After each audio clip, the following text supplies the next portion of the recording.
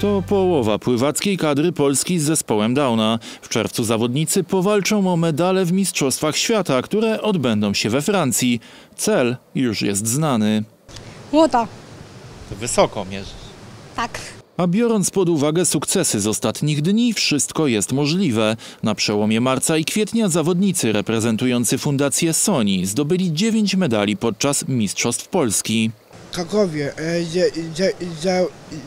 dzia, dzia, dzia, dzia, działałem lukemię e, klauny na, na 50.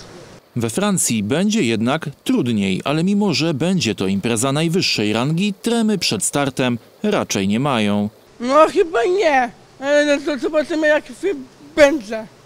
I jaki medal byś chciał zdobyć?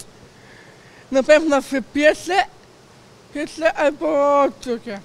Ale gdyby brąz się udało, to też pewnie zadowolony będziesz. Tak. I z podobnym nastawieniem pojadą pozostali pływacy. Na razie jednak przygotowują się do mistrzostw Gliwickiej Pływalni Olimpijczyk. Zaczynamy teraz e, siedmiotygodniowy trening, e, okres przygotowawczy. E, Treningi właśnie będą 5 razy w tygodniu. E, W maju wybieramy się jeszcze na zgrupowanie, gdzie będziemy trenować e, dwa razy w tygodniu. Właśnie wybieramy się do Gdyni. Rywalizacja sportowa oczywiście jest ważna dla pływaków, podobnie jak zdobyte medale na ich szyjach. Dla rodziców ten sport ma jednak nieco szerszy wymiar. Przede wszystkim właśnie możliwość rozwoju fizycznego to jest główny cel, ale przede wszystkim rozwój społeczny, kontakty właśnie z grupą swoich y, mm, znajomych, swoich kolegów, y, zarówno tutaj na codziennych treningach, jak na zawodach, jak się spotykają. Bo dla wielu zawodników z zespołem Downa każdy trening jest niemal jak święto. Skrupulatnie się do niego przygotowują. Był taki okres e, w życiu Szymka, że jak na przykład nie było treningu, to mówi tak, "E, dlaczego pan Bartek nie ma treningu, dlaczego on odwołał, mówi o co chodzi, mówi zadzwoń do niego, trening musi być, nie?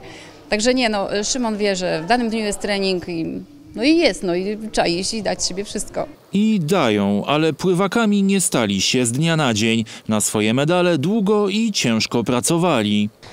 Za, zachęcił mnie rodzice i trenerzy, I dlaczego zacząłeś pływać?